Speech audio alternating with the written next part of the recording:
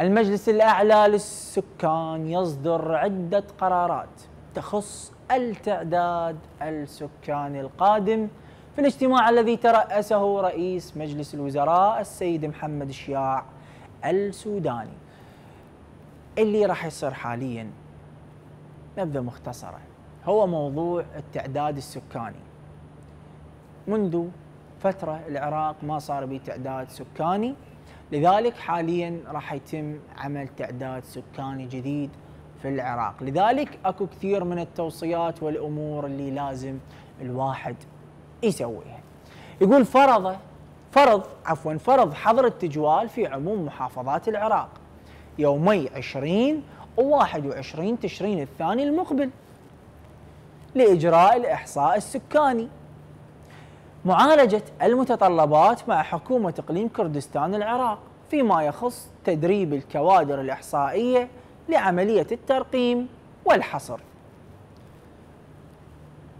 دعم وزارتي التربية والتعليم العالي والبحث العلمي ليس العملي للعملية الإحصائية من خلال تهيئة القاعات الدراسية للتدريب وكذلك مراكز الشباب من خلال وزارة الشباب والرياضة. الإسراع في تحويل المتطلبات المالية والتخصيصات لتمويل مشروع التعداد. استضافة رئيس هيئة الإحصاء ونظم المعلوماتية الجغرافية في اجتماع اللجنة العليا للتنسيق بين المحافظات. أما وزارة التخطيط تقول هيئة الإحصاء ونظم المعلومات الجغرافية. انطلاق مرحلة الترقيم والحصر ضمن مراحل عمل التعداد السكاني 2024 وتستمر لمدة شهرين متتاليين. 60 يوم. 30 ألف باحث ينطلقون لتنفيذ عملية الحزم والترقيم والحصر الشاملة.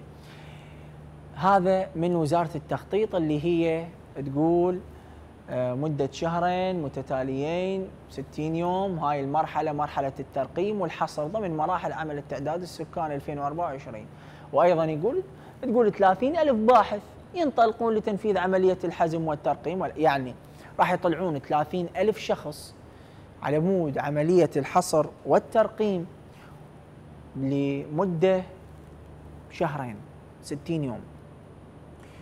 نرجع للموضوع اللي قبله اللي هو يكون الحظر التجوال لمدة يومين 20 و21 بالشهر. أتمنى إنه يكون جمعة وسبت يعني حتى أتمنى يصادفن بهكذا أيام. هذا هو آه اللي آه من وزارة التخطيط. بالمناسبة يوم 20 21 صادف أربعاء وخميس. هاي عطلة لل خوش عطلة جتي للموظفين.